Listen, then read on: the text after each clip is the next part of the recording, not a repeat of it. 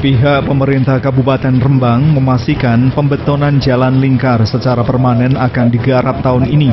Bupati Rembang Abdul Hafid saat turun langsung memantau ke jalan lingkar Jumat pagi 10 Januari 2020 menegaskan penanganan sudah direncanakan sebelumnya, bukan semata-mata karena digebuki masyarakat melalui media sosial. Begitu tiba, Bupati memilih jalan kaki memantau pengurukan jalan. Ia juga sempat naik alat berat dan berdialog dengan sopir yang lewat. Bupati menyampaikan terima kasih atas perhatian netizen atas kondisi kerusakan jalan lingkar. Untuk sementara, pekerja melakukan perbaikan darurat. Setelah selesai, dilanjutkan penanganan permanen.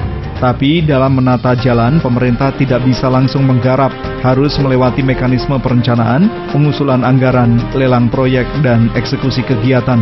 Kalau tahapan lancar ditargetkan pembetonan mulai bulan Mei tahun 2020 ini.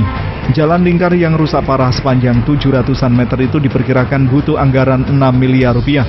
Dana akan diambilkan dari pos dana bagi hasil cukai hasil tembakau atau DBHCHT.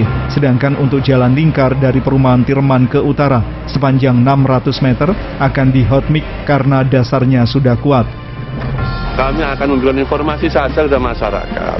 Kalau masyarakat ini punya pemikiran bahwa apa pemerintah nak wis digebuki lagi laku ini tidak benar.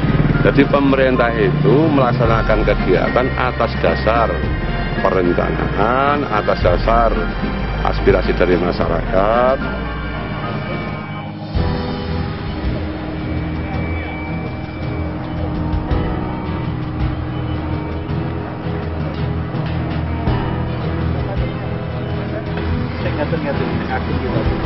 Nah, jadi ini nanti kita arahkan untuk kita uh, yang gini-gini ini dasarnya diperkuat dengan batu-batu yang besar.